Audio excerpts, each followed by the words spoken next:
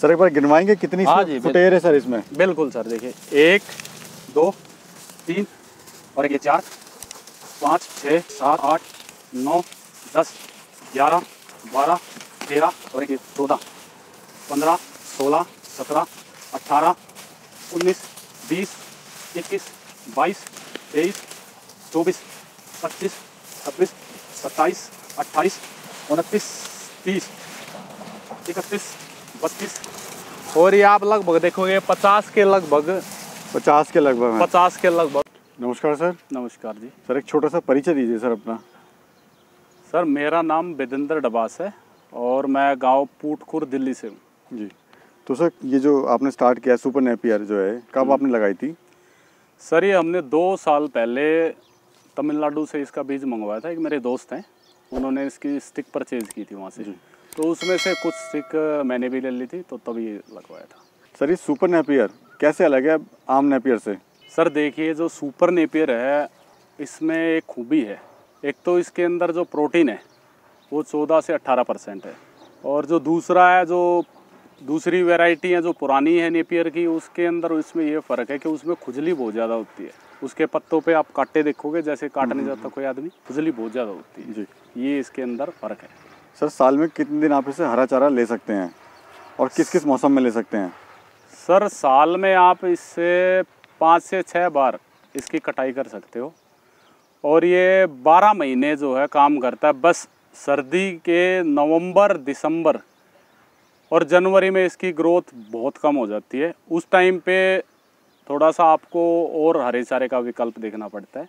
उसमें मैं ये नहीं कह सकता कि भाई आपको इसके ऊपर मतलब पूरा डिपेंड रहना जी पड़ेगा। जी। तो ऑप्शन हमें देखना पड़ेगा सर्दियों में। हाँ जैसे जैसे मक्का है या कोई और जई है और कि बरसिम है ये आप लगा सकते हो। सर आपने जो लिया था इसका बीज आपने कहाँ से लिया था? मैंने इसका बीज सर तमिलनाडु से मंगवाया था। और कितने का लिया था सर? वो हमें पड़ा था पर स्टिक एक रुपए की कॉस्ट आई थी सर उसकी। जी। तो सर अगर एक एकड़ की बात करें हम्म। तो उसको लगाने का क्या खर्चा आता है? और पैदावार कितनी होती है? और कितनी इसमें स्टिक लगती है? एक एकड़ में।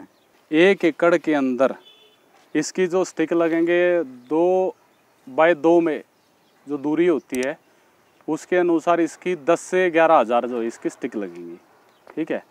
उसके अंदर जो खर्चा है, अब आप उसको कैलकुलेट कर लीजिए। लगभग आपको बाईस हज़ार रुपये की मान के चलिए कि स्टिक आपने जो परचेज की है वो। और साथ में आपने जो ट्रैक्टर से इसको कल्टीवेट करवाया है, इसकी जो और खाद वगैरह डलवाया वो आपका जो खर्चा रह जाता है वो अलग हो जाता है या लेबर का थोड़ा बहुत ये रहता है। सर एक बात बताइए इससे दूध उत्पादन में कुछ क्षमता बढ़ती है दूध बढ़ता है इससे? देखिए सर हरा चारा पशुओं का मुख्य आहार है। पहले आज तो हम खेत में उगाने लगे पर पहले गोवंश होता था वो खेतों के अंदर या उनकी गो गोचर भूमि होती थी वहाँ पे वो चरने जाती थी। तो हरा चारा कोई भी हो उससे दूध के अंदर फ़र्क तो पड़ता ही है पर इसके अंदर एक खासियत ये है कि इसमें थोड़ा सा ड्राई मैटर ज़्यादा है और दूसरा प्रोटीन है वो चौदह से अट्ठारह परसेंट होने की वजह से दूध में फ़र्क ज़रूर पड़ता है। जी जी सर साथ में ये बताइए न्यूट्रिशन वैल्यू की अगर बात करें तो किस तरह की न्यूट्रिशन वैल्यू इसमें पाई जाती है? न्यूट्रिशन वैल्यू काफ़ी अच्छी है इसकी। इसके अंदर 14 से 18 परसेंट प्रोटीन होता है साथ में इसमें कार्बोहाइड्रेट भी होता है जिससे एनर्जी मिलती है दूध के लिए अच्छा होता है दूध के लिए बिल्कुल बिल्कुल। जैसे हम गुड़ खिलाते हैं गायों को जी। तो उसकी क्वांटिटी कम हो जाती है। जी। ठीक है? इस क्योंकि मिठास के कारण है। मिठास होगी जिस भी फ़सल के अंदर मिठास होगी तो उससे दूध बढ़ेगा। हाँ दूसरा सर ये बताइए कि इसकी हाइट जो है हम्म। वो कहाँ तक जाती है? 18 फीट 12 फीट कहाँ तक जाती है? देखिए हाइट की बात मैं बताऊँ। इसकी हाइट अगर आप इसको काटोगे नहीं तो जैसे जवार वगैरह हम लगाते हैं वो एक समय के बाद सूख जाती है उसकी ग्रोथ रुक जाती है और वो ख़राब भी हो जाएगी। पर ये जो आप सुपर नेपियर देख रहे हो इसकी एक महत्वपूर्ण बात ये है कि अगर आप इसको काटोगे नहीं तो इसकी जो है मतलब ग्रोथ होती रहेगी। पर इतनी हाइट में आप वो पशुओं को खिलाने के लायक नहीं रहती क्योंकि वो पक जाती है।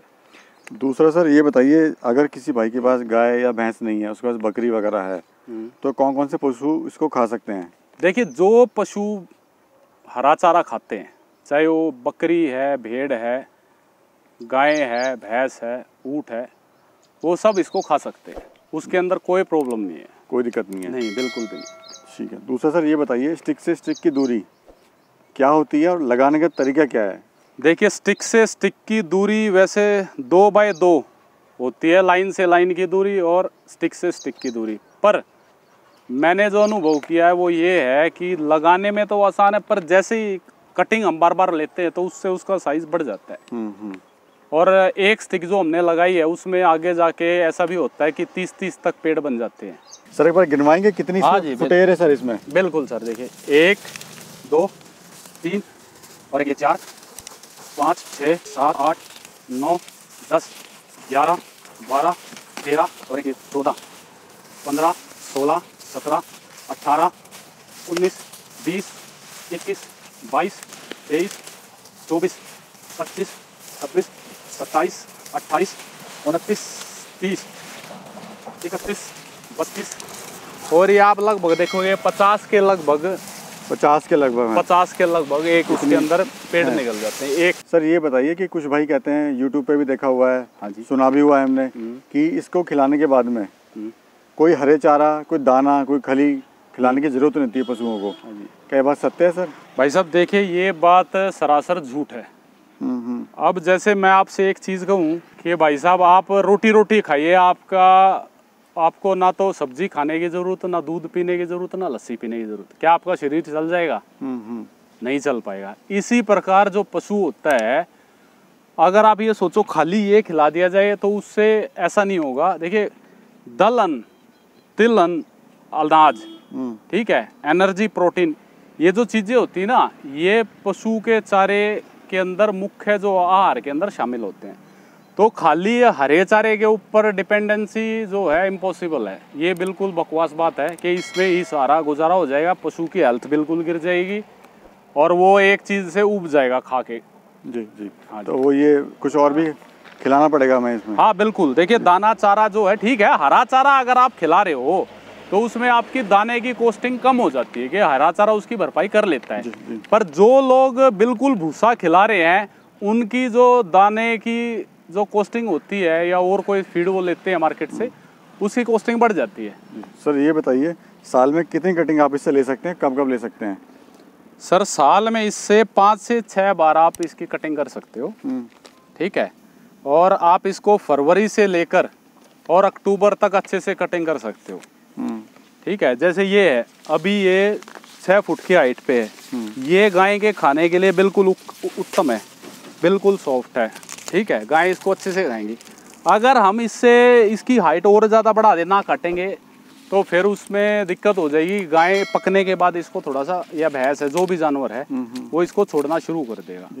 ये फ़र्क आता है। सर दूसरा बताइए कटिंग जो है कितने फिट के बाद कर लेनी चाहिए? कटिंग अब मेरी हाइट पाँच दस है तो ये छः फुट के लगभग है। हम्म। ये दो महीने की इसकी ग्रोथ है। हम्म। तो मेरा मानना ये है कि दो महीने के अंदर या डेढ़ महीने से दो महीने के बीच में जो इसकी कटिंग ले लेनी चाहिए। सर अगर बात करें एक एकड़ में कितने पशुओं के लिए सफिशेंट होती? है देखिए मेरे पास मैं गऊ पालन भी कर रहा हूँ। मेरे पास टोटल नंबर ऑफ़ गाय हीफर काफ सारे मिला के फोर्टी टू फोर्टी फाइव के बिटवीन है। तो मैं उनके लिए ये एक एकड़ जो उगा रखा है तो मैं काम चल जाएगा। सर पहचान क्या होती है इसकी नेपियर की? देखिए ये मैंने हाथ में लिया है। ये सुपर नेपियर बिल्कुल सॉफ्ट है ठीक है। और जो नेपियर होते हैं उसके अंदर जो इससे पिछली वैरायटियाँ हैं उसके अंदर इसमें खुजली होती है शरीर के अंदर। अब इसमें मैं अपने मुँह पे फेर रहा हूँ या कुछ भी कर रहा हूँ इतना नहीं है होता है।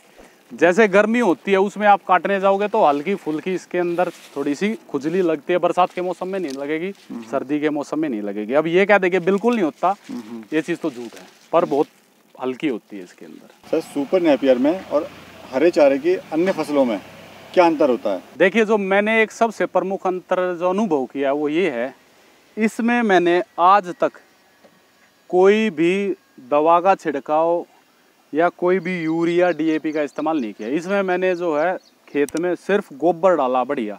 गोबर का ढेर वहाँ पे लगा हुआ है, हम गड्ढे के अंदर जो है बनाते हैं, ठीक है? तो उसमें ये दो महीने के अंदर ये ग्रोथ दे रहा है। सिर्फ़ पानी दो और काटो। और देखिए इसके पत्ते भी बिल्कुल कितने अच्छे हैं। कुछ नहीं बिगड़ा। अभी मैं आपको एक एग्जांपल दे रहा हूँ। इधर कैमरा देखो मैं ये भाई साहब। अब ये मेरी जवार है। उसकी हाइट आपने देख ली और मेरी जवार की। ये भी दो महीने की है। उसकी कटिंग जब हुई थी तो हमने बुआई करी थी। वास्तविकता ये बताऊँगा इसमें मैंने ये चली नहीं अच्छे से क्योंकि एक तो मिट्टी अच्छी नहीं है। बालू मिट्टी है। तो इसके अंदर मैंने थोड़ा सा जो है यूरिया भी डलवाना पड़ा। फिर भी इसकी ग्रोथ इतनी अच्छी नहीं हो पाई जो वो है ऑर्गेनिक उसमें ये रहेगा किसान को कि भाई आप पूरा ऑर्गेनिक खाओगे अपने पशुओं को खिलाओगे आपका स्वास्थ्य भी अच्छा रहेगा क्योंकि जो पशु खाएगा वो सूद सीधा दूध के अंदर आएगा और दूध से आपको मिलेगा और आपकी सेहत वैसी बनेगी जैसा आप खाओगे। सर कुछ कहना चाहते हैं आप हमारे भाइयों के लिए किसान भाइयों के लिए?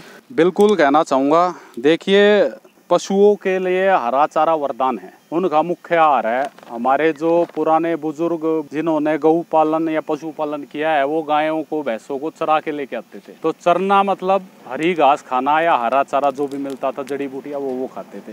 तो हरे चारे के बगैर पशुपालन असंभव है। उसमें आपकी कॉस्ट ज़्यादा बढ़ेगी, आपको नुकसान ज़्यादा होगा। हरे चारे से आपका ये है कि नुकसान होने के चांसेस बहुत कम हो जाते हैं। ठीक है, और दो पैसे की आमदनी भी हो जाएगी। और इसको आप व्यवसाय के रूप में लीजिए तो ये भी बेनिफिट है कि आप इसको सेल भी कर सकते हो। बहुत सारी डेयरियाँ हैं, जिनके पास खेत नहीं है, वहाँ पे आप जाके इसको सेल करिए तो आपके इसके अच्छे पैसे देंगे, क्योंकि इसका वेट भी काफ़ी हो जाता है पेट से। धन्यवाद सर, आपने बड़ी महत्वपूर्ण जानकारी दी।